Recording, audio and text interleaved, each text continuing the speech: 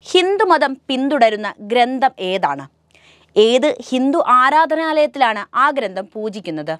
എനിക്കിതിന്റെ ഉത്തരം അറിയില്ല. നിങ്ങൾക്കറിയുമെങ്കിൽ കമന്റ് ചെയ്യൂ. പക്ഷേ ഞാൻ പറയുന്നത് ഈ കഥയല്ല. നൂറ്റാണ്ടുകൾ പഴക്കമുള്ള ഒരു ബൈബിൾ പൂജിക്കപ്പെടുന്ന ഒരു ക്ഷേത്രം ഇന്ത്യയിലുണ്ട്. വിചിത്രമായി തോന്നുന്നില്ലേ? എന്തിനായിരിക്കും അവർ ആ ബൈബിളിനെ പൂജിക്കുന്നത്? കെടാവിളക്കിന്റെ മുമ്പിൽ വെച്ച് ആരാധിക്കുന്നത് എന്തിനായിരിക്കും? ആ ചോദ്യത്തിനുള്ള ഉത്തരമാണ് ഇന്നത്തെ വീഡിയോ. നമുക്ക് നേരെ വീഡിയോയിലേക്ക് പോകാം. ക്രിസ്ത്യാനികളുടെയും യഹൂദരുടെയും വിശുദ്ധ ഗ്രന്ഥമാണ് ബൈബിൾ. ഹിബ്രു ഭാഷയിൽ എഴുതിയ പഴയ നിയമമാണ് യഹൂദർക്ക് ബൈബിളെങ്കിൽ പഴയ നിയമവും പുതിയ നിയമവും ചേർന്നതാണ് ക്രിസ്ത്യാനികളുടെ ബൈബിൾ. ലോകത്ത് ഏറ്റവും കൂടുതൽ വിറ്റഴിക്കപ്പെട്ട ഗ്രന്ഥവും ഇതുതന്നെയാണ്. ചെറിയ പുസ്തകം എന്ന ഗ്രീക്ക് വാക്കായ ബിബ്ലിയ എന്ന പദത്തിൽ നിന്നാണ് ബൈബിൾ എന്ന പദം ഉരുത്തിരിഞ്ഞത്. ദൈവത്തെയും മനുഷ്യനെയും തമ്മിൽ ബന്ധിപ്പിക്കുന്ന രേഖയാണ് ബൈബിൾ എന്നും ഈ ഗ്രന്ഥത്തിലെ വാക്കുകൾ ദൈവവചനം ആണെന്നുമാണ് വിശ്വാസം. അതേസമയം ബൈബിളിനെ ഒരു സാഹിത്യ സൃഷ്ടിയായും ചരിത്രരേഖയായും കാണുന്നവരും നമുക്കിടയിലുണ്ട്. ലോകത്ത് ഏറ്റവും കൂടുതൽ ഭാഷകളിലേക്ക് വിവർത്തനം ചെയ്യപ്പെട്ട എന്ന സവിശേഷതയുള്ള ഒരു ഗ്രന്ഥം കൂടിയാണ് ബൈബിൾ. ഇതുവരെ നാനൂറ്റി അറുപത്തി ഒമ്പത് ഭാഷകളിലാണ് ബൈബിൾ വിവർത്തനം ചെയ്യപ്പെട്ടിട്ടുള്ളത്. അഞ്ഞൂറ് കോടിയിലേറെ പതിപ്പുകൾ പല ഭാഷകളിലായി വിറ്റഴിക്കപ്പെട്ടിട്ടുമുണ്ട്. യഹൂദരുടെ ബൈബിളും ക്രിസ്തീയ ബൈബിളും തമ്മിൽ വ്യത്യാസമുണ്ടെന്ന് നേരത്തെ പറഞ്ഞുവല്ലോ. പഴയ നിയമങ്ങൾ മാത്രമാണ് യഹൂദർക്ക് ബൈബിൾ. അതേസമയം പുതിയ നിയമവും ഉൾക്കൊള്ളുന്നതാണ് ക്രിസ്ത്യാനികളുടെ ബൈബിൾ. ബൈബിളിലെ രക്ഷകനായി കാത്തിരിക്കുകയാണ് യഹൂദരെങ്കിൽ യേശുവിൽ ഈ രക്ഷകനെ കണ്ടെത്തുകയാണ് ക്രിസ്ത്യാനികൾ ചെയ്യുന്നത്.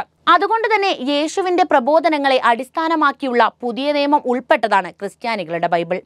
ഈ ബൈബിളിനെ ആധാരമാക്കിയാണ് ക്രിസ്ത്യാനികളുടെ മതപഠനവും നടക്കുന്നത്. എന്നാൽ ഇത്തരത്തിൽ ക്രിസ്ത്യാനികൾ വിശ്വസിക്കുന്ന അവരുടേത് മാത്രമെന്ന് അവകാശപ്പെടുന്ന ഒരു ഗ്രന്ഥം എങ്ങനെയാണ് ഒരു ക്ഷേത്രത്തിൽ എത്തിച്ചേർന്നത്? നിത്യപൂജ നൽകി ഹിന്ദു വിശ്വാസികൾ ആരാധിക്കുന്ന ആ ബൈബിളിനെ കുറിച്ചാണ് ഇനി പറയുന്നത്. ക്രിസ്ത്യൻ വേദ പുസ്തകമായ ബൈബിൾ ദിവസവും പൂജിക്കുന്ന ഒരു ക്ഷേത്രം. അതാണ് കർണാടകയിലെ ധർവാഡ് ജില്ലയിലെ നവൽഗുഡ് പട്ടണത്തിലെ നാഗലിംഗസ്വാമി ക്ഷേത്രം. ഒന്നര നൂറ്റാണ്ടോളം പഴക്കമുള്ള ബൈബിളാണ് വിളക്ക് കൊളുത്തിവെച്ച് ഇന്നും പൂജിക്കുന്നത്. പത്തൊൻപതാം നൂറ്റാണ്ടിൽ ജീവിച്ചിരുന്ന യോഗിയായ നാഗലിംഗസ്വാമിയാണ് ക്ഷേത്രത്തിലെ മുഖ്യപ്രതിഷ്ഠ ഇദ്ദേഹവുമായി ബന്ധപ്പെട്ട ഐതിഹ്യമാണ് ബൈബിളിനെ ദിവസവും പൂജിക്കുന്നതിന് കാരണമായത്. ലണ്ടനിലെ മിഷണറീസ് ഓഫ് ജർമൻസ് കമ്മിറ്റിയും വെസ്ലിയർ മിഷണറി സൊസൈറ്റീസും ചേർന്ന് ആയിരത്തി എണ്ണൂറ്റി അറുപത്തിയഞ്ചിൽ മാംഗ്ലൂരിൽ പ്രസിദ്ധീകരിച്ച കന്നഡ ഭാഷയിലെ ബൈബിളാണ് ഇവിടെ പൂജിക്കപ്പെടുന്നത് എന്തുകൊണ്ട് ഹിന്ദു ആരാധനാലയത്തിൽ ഒരു ബൈബിൾ പൂജിക്കപ്പെടുന്നു എന്ന പ്രസക്തമായ ചോദ്യത്തിന് ഉത്തരം പറയുകയാണ് ഞാനിനി. ഒരു ഐതിഹ്യമാണ് ഇതിന് ആധാരമായിട്ടുള്ളത്. ആ ഐതിഹ്യം ഇങ്ങനെയാണ്. ബഗൽകോട്ട് ജില്ലയിലെ മുസ്തികേരി ഗ്രാമനിവാസിയായിരുന്ന കല്ലപ്പ എന്ന ആൾക്ക് ക്രിസ്ത്യൻ മിഷണറിമാർ ഒരു ബൈബിൾ നൽകി. ഒരിക്കൽ നാഗലിംഗസ്വാമി കല്ലപ്പയെ കാണാനെത്തിയപ്പോൾ എന്തോ കാരണത്താൽ കല്ലപ്പ ബൈബിൾ സ്വാമി കാണുന്നതിൽ നിന്ന് ഒളിപ്പിച്ചു വെച്ചു.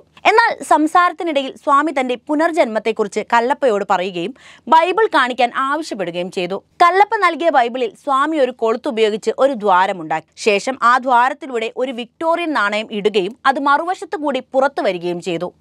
എന്താണ് അദ്ദേഹം ചെയ്യുന്നതെന്ന് മനസ്സിലാവാതെ കല്ലപ്പ അത് അമ്പരപ്പോടെ മാത്രം നോക്കി നിന്നു. ശേഷം അദ്ദേഹം പറയുന്നു ബൈബിളിലെ ദ്വാരം എന്ന് സ്വയം മൂടുന്നുവോ? അന്ന് താൻ പുനർജനിക്കുമെന്ന് നാഗലിംഗസ്വാമി കല്ലപ്പയോട് പറഞ്ഞത്രേ. നാഗലിംഗസ്വാമി പറഞ്ഞത് പ്രകാരം ബൈബിളിലെ ദ്വാരം ചെറുതായി വരികയാണെന്നാണ് ക്ഷേത്രാധികാരികൾ അവകാശപ്പെടുന്നത്. ദ്വാരം കാരണം കാണാൻ കഴിയാതിരുന്ന അക്ഷരങ്ങൾ വീണ്ടും കാണാൻ കഴിയുന്നു എന്നും അവർ പറയുന്നു. ദ്വാരത്തിന്റെ വ്യാസം ക്ഷേത്രം അധികൃതർ നിശ്ചിത സമയങ്ങളിൽ അളക്കുന്നുമുണ്ട്.